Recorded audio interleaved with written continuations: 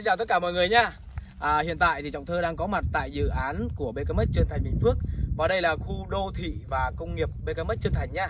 Với tổng diện tích 4.633 ha và ngay buổi sáng hôm nay thì công ty bất động sản Centerland bung ra một vị trí vô cùng đẹp nằm view dãy nhà phố nha cả nhà.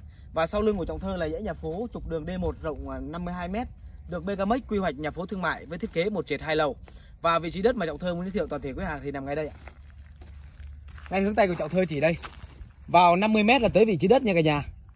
Và hướng thì rất là đẹp nha. Như các à, khách hàng mà thích phong thủy thì hướng này là hướng chính đông cực kỳ đẹp.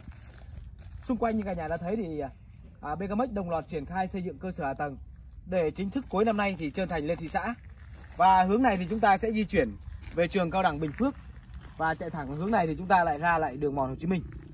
Và hiện tại thì cơ sở hạ tầng như cả nhà đã thấy á thì à, tất cả những trục đường 25m, 16m thì được đồng loạt trồng cây xanh vỉa hè và sẽ cho lên nhựa trong thời gian ngắn nhất.